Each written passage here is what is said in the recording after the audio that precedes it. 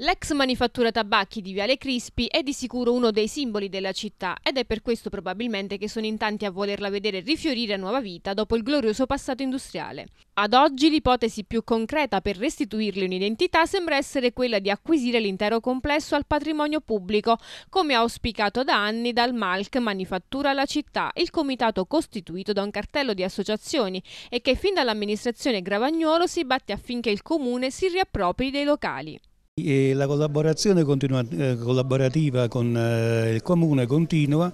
mm, abbiamo a che fare con un'amministrazione che sembra più aperta eh, alle, alle, esigenze della città che noi cerchiamo di, di rappresentare e credo praticamente che alla ripresa del contenzioso, se questo verrà gestito in maniera